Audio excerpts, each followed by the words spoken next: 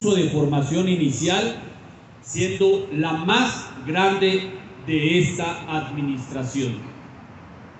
Pido un fuerte aplauso para todos nuestros cadetes que están aquí presentes.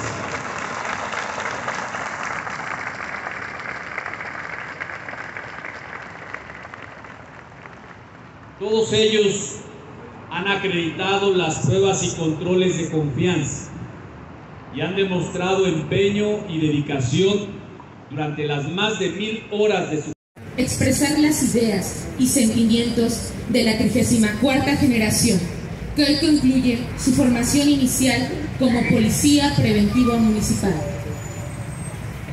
Vivir esta experiencia constituyó indudablemente un cambio de vida en el estilo de cada uno de nosotros. Muy orgullosos de serlo. Hace un momento platicaba con una señora que viene aquí a acompañar a Pedro, que aquí seguramente me esté escuchando. Y me decía su mamá que venía a cumplir su sueño de ser policía. es posible corregir el rumbo.